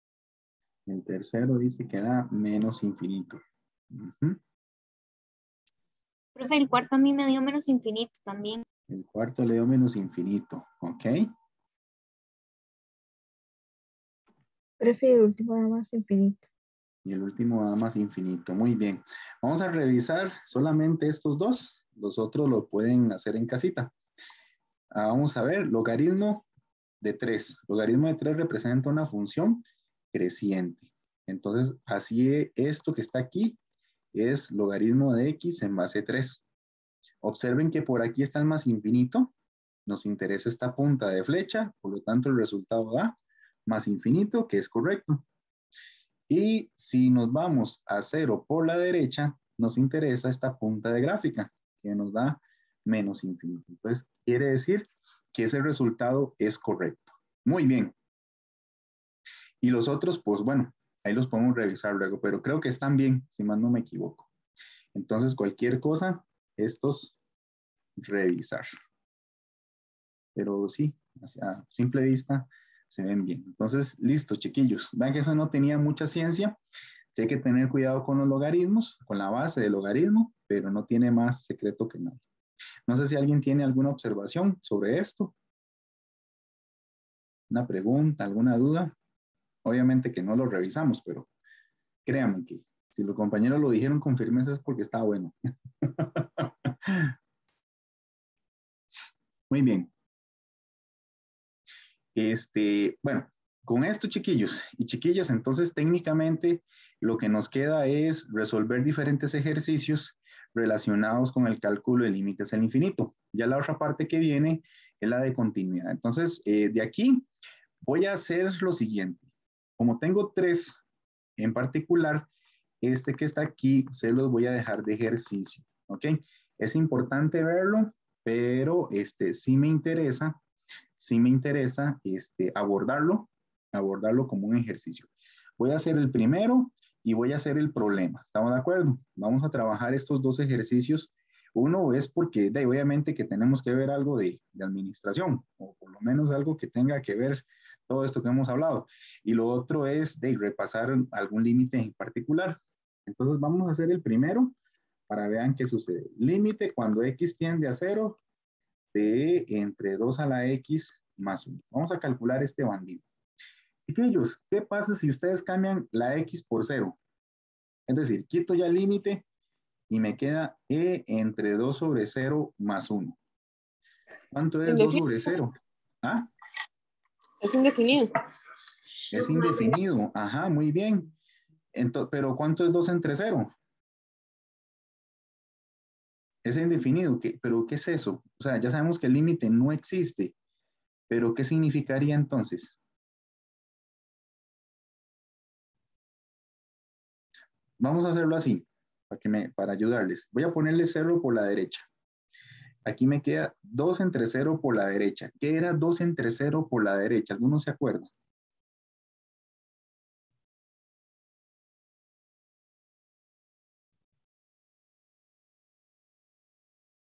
Ujú. Nadie se acuerda, chiquillo. Recuerden, si ustedes tenían 2 entre 0 por la derecha, eso se transforma en infinito positivo. Si hubiera sido 2 entre 0 por la izquierda, esto me hubiera dado menos infinito. Vean que no son números, pero son representaciones. Entonces, recuerden la regla. Si ustedes ven 2 entre 0, eso, eso no existe. Pero si tiene derecha o izquierda, puede ser más infinito o menos infinito. Repasamos también, si viene menos por más, me hubiera dado menos. Y si viene menos con menos, me hubiera dado más. Entonces también aplica la ley de signos. Pero en este caso, tenemos esta situación. 2 entre 0 por la derecha se transforma en infinito. ¿Todo bien hasta ahí? Entonces, chiquillos, esto me queda e elevado al infinito más 1. Chiquillos, ¿cuánto es e a la infinito? ¿Alguno se acuerda? Bueno, y vamos a ver. Vamos la exponencial. ¿Qué pasa con la exponencial en el infinito? ¿Cuánto da?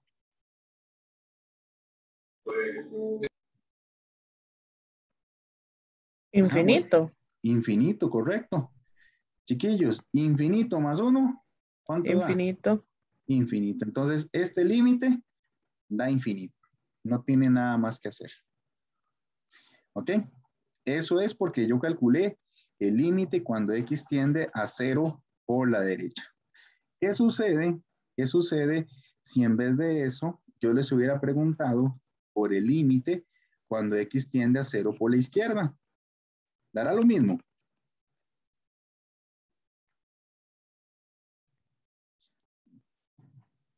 Dará lo mismo, chiquillos. Vamos a ver, hagámoslo. Si hubiéramos hecho 0 por la izquierda. Esto sería, ojo, entre comillas, porque no es un número, e entre 2 por 0 por la izquierda. ¿Y ahora? ¿En qué se transforma esto? E a la menos negativo. Ajá, e a la menos infinito más 1. Muy bien. Chiquillos, ¿y cuánto sería la exponencial en menos infinito? Ya no nos interesa esta punta de flecha, ahora nos interesa esta. ¿Cuánto daría?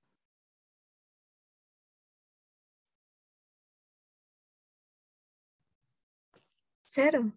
Cero, muy bien. Entonces, ¿qué haría? Cero más uno. ¿Y cuánto da el resultado?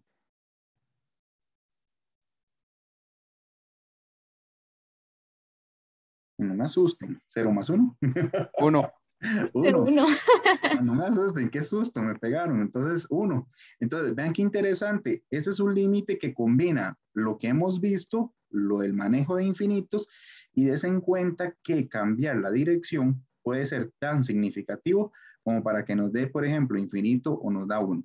El límite original no existe. El límite original no existe. Esa es la respuesta. ¿Por qué no existe? Porque por la derecha nos da infinito y por la izquierda nos da el 1. Y recuerden que con Samuel vieron que si los límites laterales no son iguales, quiere decir que el límite no existe. Esa sería la respuesta para ese ejercicio. ¿Todo bien hasta ahí, chiquillos? Con este pequeño ejercicio. Profe, entonces, digamos así como para anotar, como recomendación es mejor eh, dividir como el ejercicio.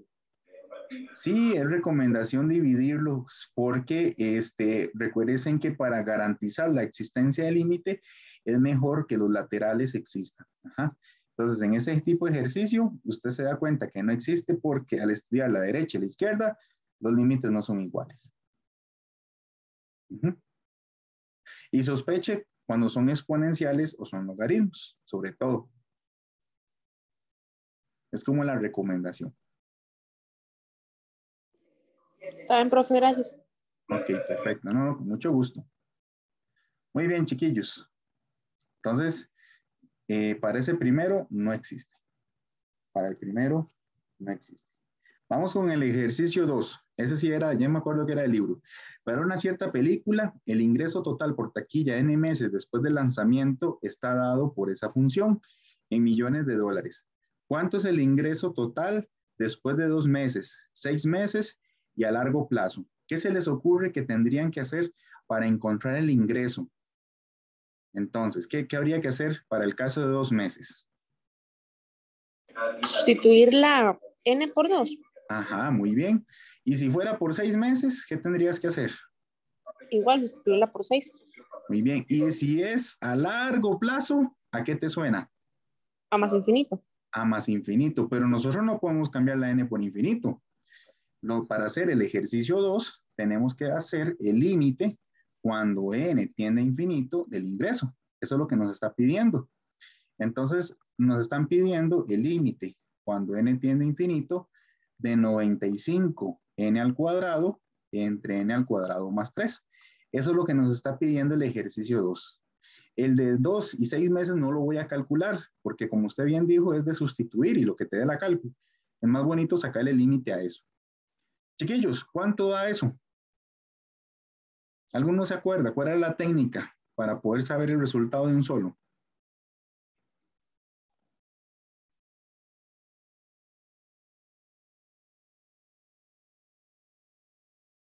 Vamos a ver. Lo de arriba es un polinomio. Lo de abajo es un polinomio. ¿Y cómo son los grados de estos polinomios?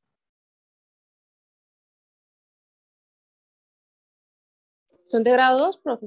Ajá, son igual. ¿Y se acuerdan la pista que les di cuando son del mismo grado? ¿Qué pasa si son del mismo grado los dos?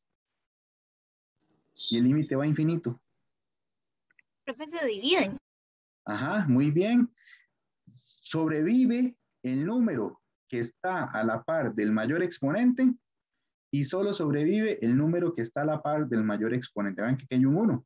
Entonces ya sé que ese resultado me va a dar 95 entre 1, es decir, me va a dar 95. Obviamente que hay que eso es con la técnica que les dije. Entonces ya yo sé que el límite en eso nos va a dar 95. Pero ¿qué significa para efectos del problema? Que el límite nos dé 95.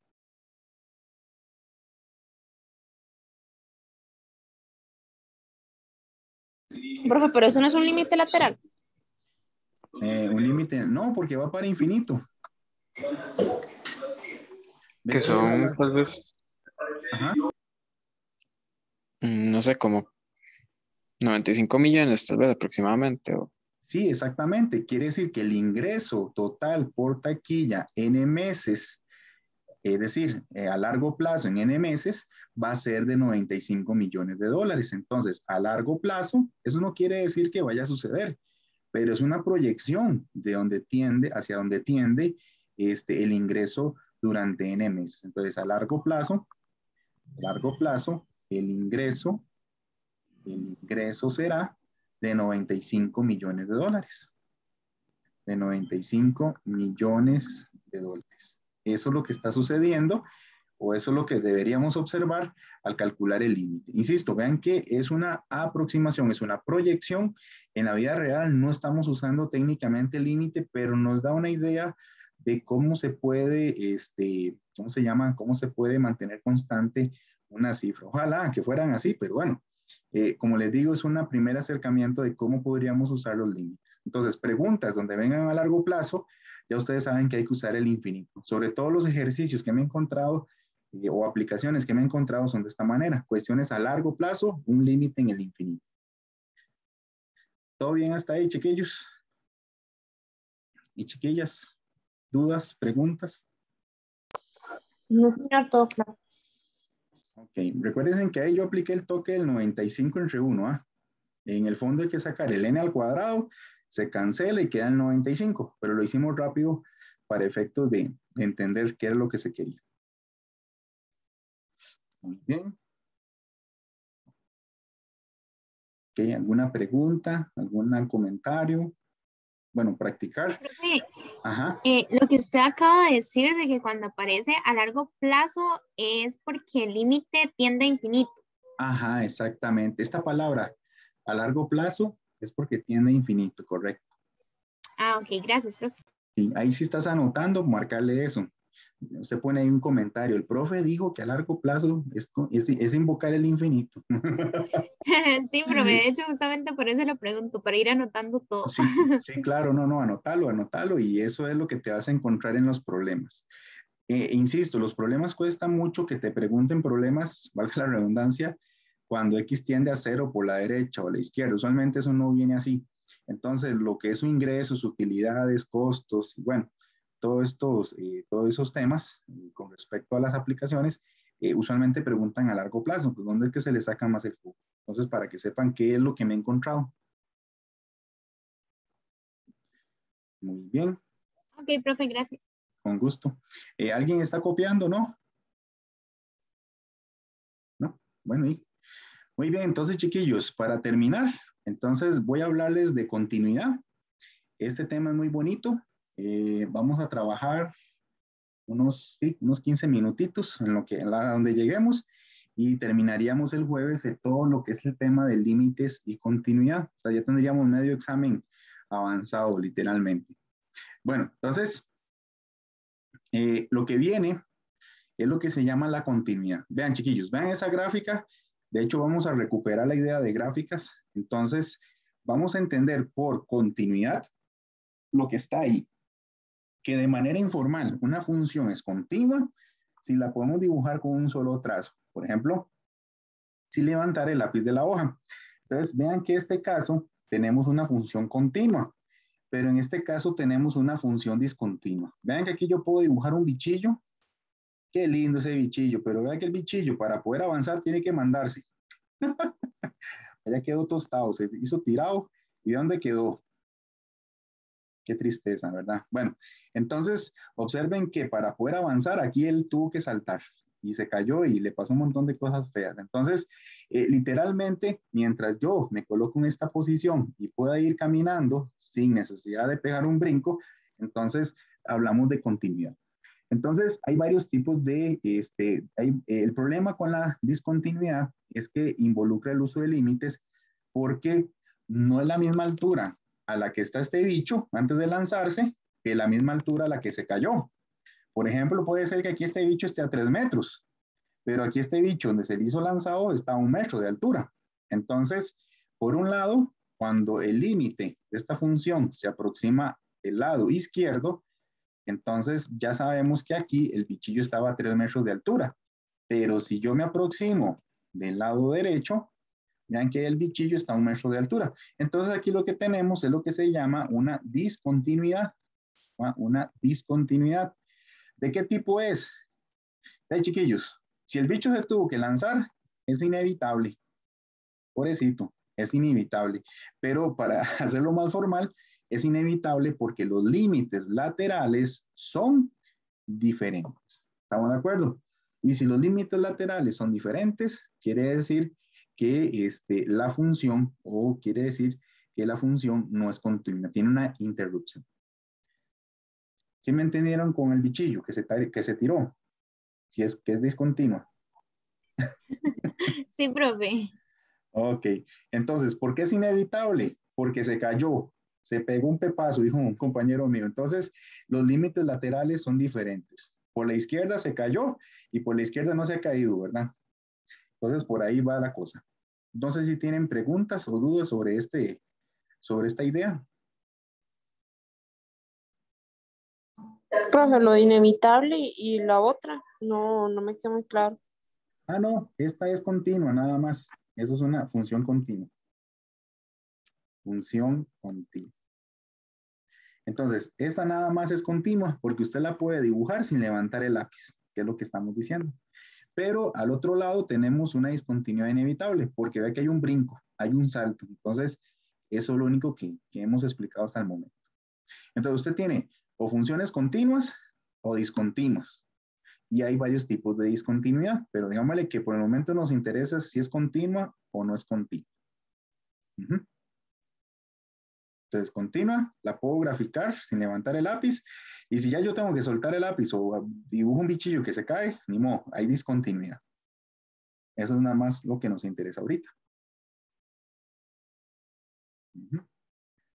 No sé si puedo pasar, chiquillos, con, con la idea. Por mí sí, profe. Ok, si alguien está apuntando, ahí me hace la, la observación. Vámonos por acá. Para nosotros, entonces, para la- hablar de continuidad, ocupamos tres ingredientes, como cuando uno hace el arroz.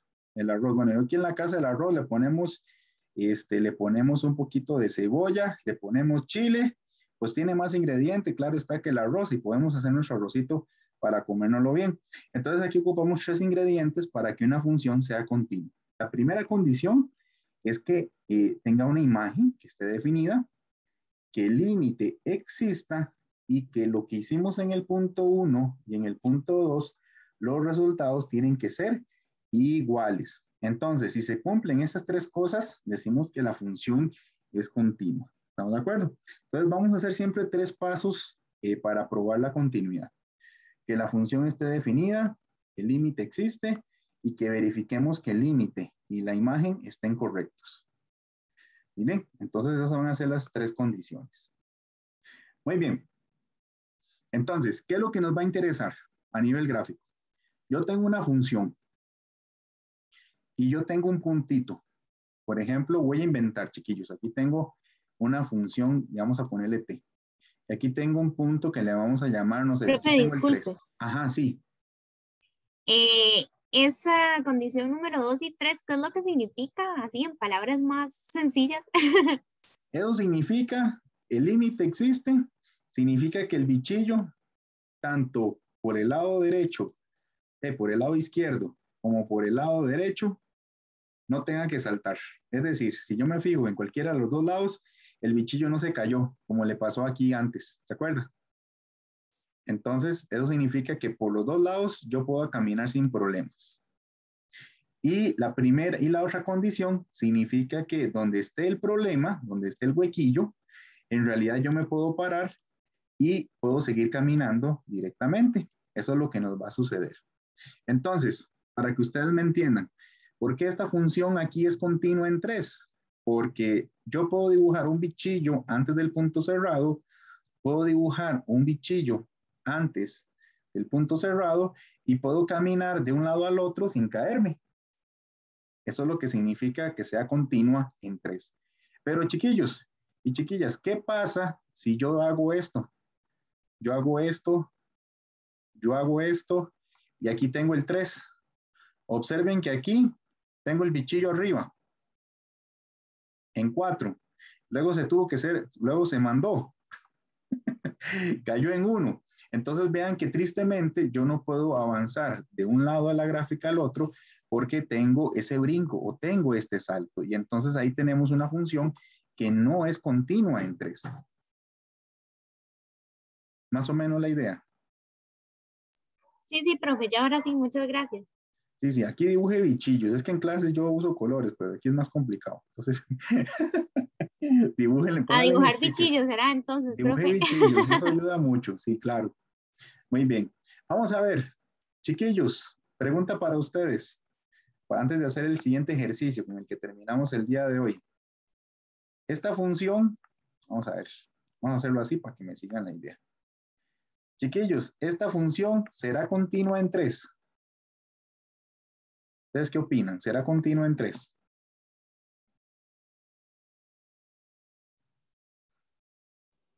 Mm, Yo creo que no, profe. Vamos a ver, dibujemos el bichillo aquí. El bichillo está por la derecha. Él puede seguir sin problemas hasta el lado izquierdo, hasta el lado derecho, perdón. Pareciera que sí, ¿verdad? Pero, ¿qué pasa si yo No. lo... Ah, Yo creo que no. no, ¿verdad? Es como cuando uno va manejando ahí por, por Chepe y se encuentra con un zanjón. Ajá, sí, en eso estaba pensando como en un huequillo.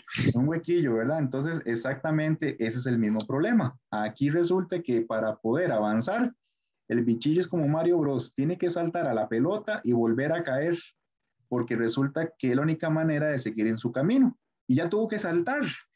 Recuerden que caídas o saltos no, permit- no es continuidad. Entonces, quiere decir que eso es como capearse un carro en Chepe. Eh, capearse un carro, capearse un hueco en Chepe, ¿verdad? Para no lastimar el carro, manejamos o por la derecha o por la izquierda, pero no pude seguir de manera directa y eso ya no es continuo. Entonces, Los puntos cerrados arriba o abajo del camino original tampoco son condición de continuidad. ¿Todo bien hasta ahí?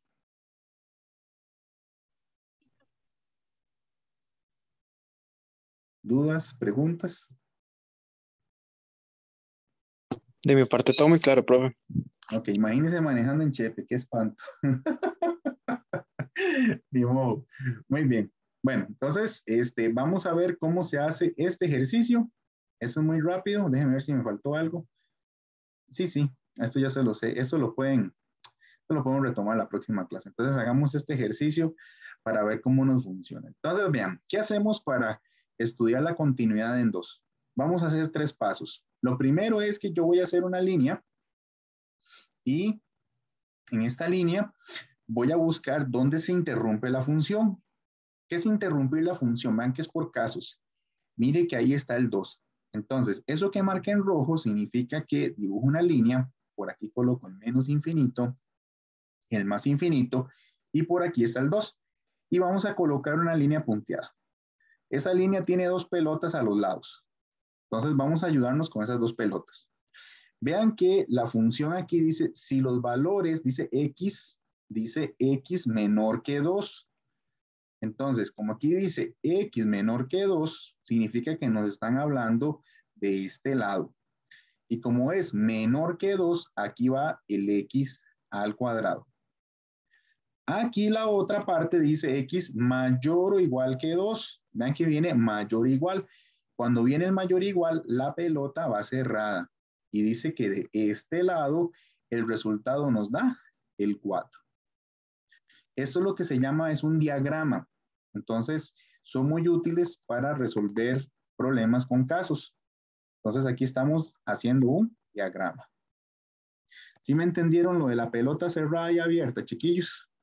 ¿O alguien quedó con la duda?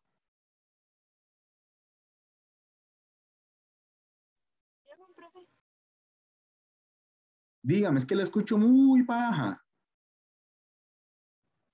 No, profe, que yo no tengo ninguna duda. No sé si ahora Ah, sí me bueno. escucha. Ok, entonces la pelota quedó abierta porque aquí es menor. O sea, no tiene boquita, no tiene palito abajo. Y aquí al otro lado la bolita quedó cerrada porque aquí es mayor igual. Entonces, listo. Eso es lo único que hacemos. Muy bien. Cuando ya tenemos el diagrama, entonces aplicamos los primeros pasos. Chiquillos, vamos a calcular, como me dicen, continua en 2. Vamos a calcular la imagen en 2. Entonces calculamos f de 2. ¿Quién es f de 2, chiquillos? Donde, entonces, ¿quién es la imagen de 2? Le hacen caso a la fórmula que tenga la pelota cerrada. Entonces, hay dos fórmulas, x al cuadrado o 4. ¿Cuál tiene la pelota cerrada? El 4. Ah, entonces la imagen de 2 es 4. Si la pelota cerrada hubiera estado, si la pelota cerrada hubiera estado aquí, entonces hubieran colocado 2 al cuadrado, que también da 4. ¿Estamos de acuerdo? Entonces, ojo a eso de la pelotita cerrada. Muy bien, listo. Entonces, el paso número uno es que la imagen de 2 da 4. Paso número 2. Van a calcular los límites laterales. Límite cuando x tiende a 2 por la derecha y límite cuando x tiende a 2 por la izquierda de la función. Chiquillos, ¿qué pasa si yo calculo por el lado derecho? ¿Qué pasa si yo calculo por el lado derecho? El resultado es cuánto?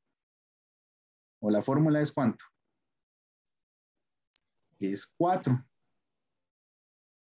Si yo calculo el límite por el lado izquierdo, entonces el resultado aquí va a ser x al cuadrado. Y luego calculamos esos dos límites de manera directa. El límite cuando x tiende a 2 por la derecha de 4, como no tiene letra x, sencillamente da 4. Si yo calculo este límite por el lado, ah, perdón, aquí es el lado izquierdo, por el lado izquierdo, solamente tomo el 2 y lo cambio por la x. Sería 2 al cuadrado y también da cuánto? 4. Chiquillos, ¿cómo son los límites laterales? Iguales. ¿Y qué pasa si los límites laterales son iguales? El límite existe. El límite existe. Entonces, por lo tanto, el límite cuando x tiende a 2, ya sin derecha o izquierda, existe y es igual. En este caso, el límite existe y es igual a 4. Muy bien, ahí sabemos que el límite va a ser 4. Tercer paso. Chiquillos, el paso 1, el resultado del paso 1 es igual al resultado del paso 2. Es decir, la imagen de 2 que dio 4 es igual al límite que también dio 4. Sí. Sí, profe. Listo. Entonces, quiere decir que la función, como lo del paso 1 y lo del paso 2 son iguales, la función es continua en 2. Entonces, como el límite, cuando x tiende a 2 de f de x dio 4 y es igual a lo que nos dio en el paso 1, por lo tanto, f es continua en 2. Listo. Esto es una prueba de continuidad. Ese es un ejercicio que nos dice que si yo graficara, quiere decir que Rayman en el 2, cuando camina por aquí, lo hace cerca del 4. Hay una pelota en 4, si camino del lado izquierdo. Si camino del lado derecho, hay también hay una pelota en 4. Pero a la hora de evaluar en 2, la pelota está rellenada. Entonces, si yo dibujar un bichillo aquí, él puede seguir caminando sin pegar ningún salto y no hay ninguna obstrucción en el camino. Entonces, el bichillo no tiene problemas. Eso es continuidad, chiquillos, y esos son los tres pasos que se utilizan para probarlo. No sé si hay dudas hasta acá. Profe, yo tenía una duda. Sí, dígame. Eh, en el paso 2, específicamente cuando el límite tiende a 2 por la izquierda, que usted sustituyó eh, el 2, em, ahí siempre, digamos, cuando hay alguna X o así, se sustituye por el valor de la, digamos, Del- del... De límite. Ajá, exacto. Sí, es correcto. Estos son límites directos. Entonces usted nada más cambia la X por 2, como les dijo, les había explicado Samuel. Entonces nada más cambia la X por 2 y lo que te dé el resultado. Aquí no te van a dar 0 entre 0. Bueno, algunos muy, muy particulares sí, pero usualmente aquí nada más para que sustituya y te dé. Ah, ok, profe, gracias. Muy bien, perfecto. No, no, con ningún problema. No sé si hay alguna otra duda, algún comentario. Obviamente estos vamos a seguir haciendo el jueves, pero es para que quede claro si tienen alguna, alguna sugerencia, ¿verdad? O sea, siempre son estos tres pasitos. Y el diagrama, ¿verdad? Que, que nos va a ayudar mucho en ese proceso de interpretación. Ok.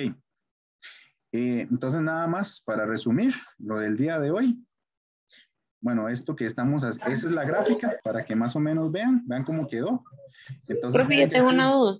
Sí, dime. Digamos, en, el, en cuanto a lo del criterio, usted siempre se lo tiene que dar a uno.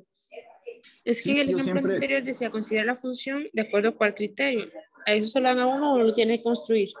No, yo se los doy. Yo es- esta fórmula, yo se las, yo se las doy. Está bien, profe, gracias. Ah, no, con gusto. Muy bien. Este, nada más para que vean, vean cómo quedó la función. Ven aquí la función donde yo dibujo el bichillo. El bichillo se puede parar en la pelota. Él puede seguir avanzando y no tiene que pegar ningún salto. Entonces aquí yo había hecho la gráfica, no me acordaba de esta función que acabamos de graficar. La gráfica no tienen que hacerla, nada más se las estoy colocando para que vean que aquí es un caso donde la función es continua en dos y que como se los he explicado, uno puede poner un bichillo caminando y él no tiene que dar ningún salto. Pues sí, tiene una cuesta ahí bien brava, pero pues supongamos que tiene rieles en los, en los zapatos y, y puede seguir trepando sin problema. Bueno, eso por un lado. Nada más recordarles, chiquillos, entonces, este, para que ustedes más o menos me entiendan, ahí, esta no, nada más me entiendan, esta función, esta función será continua. ¿Ustedes qué opinan? No, profe. No, ¿verdad? Tiene huecos. Entonces, vean, tiene una discontinuidad en dónde? Es discontinua en el menos 2. ¿Dónde es discontinua también, chiquillos? En el cero. En el cero, muy bien. Es discontinua en cero. Discontinua en menos 2. Es discontinua en 0 y ¿dónde también es más discontinua? ¿Dónde es más discontinua? ¿Dónde En 1. en 1, muy bien. Entonces, esta es una función que tiene tres discontinuidades, ¿ok? Es discontinua en el menos 2, en el 0 y en el 1. Chiquillos, la discontinuidad donde el bichillo lo dibujo y aquí cae tostado, se le llama inevitable, ¿estamos de acuerdo? Entonces, en el menos 2 es del tipo inevitable. ¿Estamos de acuerdo? Pero en donde haya pelotas, donde solamente hay pelotas, ya sea que la pelota esté arriba o no aparezca una pelota, sencillamente va a ser evitable. Entonces, en el caso del 0 y el del 1, se dice que es evitable. ¿Ok? Y eso es lo único, digámosle, que tienen que saber de carácter sustancial. Lo interesante del inevitable es los que los límites laterales son diferentes, y es decir, el límite no existe. No sé si tienen dudas con este dibujillo, con esta grafiquilla nada más.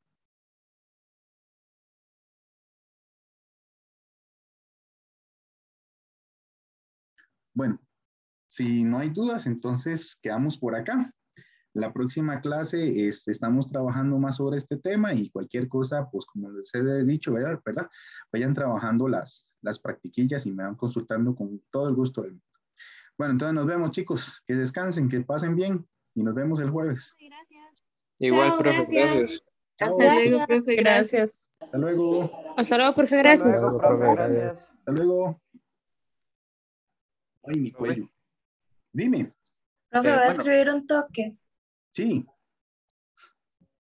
Este, bueno, yo- soy el de la consulta a las 3. Ah, sí. Eh, en No tu sé ca- si, si lo hacemos de una. Ah, bueno, y perfecto. Nada más voy a dejar de grabar y, y- y para ver las consultas que queden. No hay ningún problema. Vamos a. Esto es Kael, ¿verdad? Sí. Ok,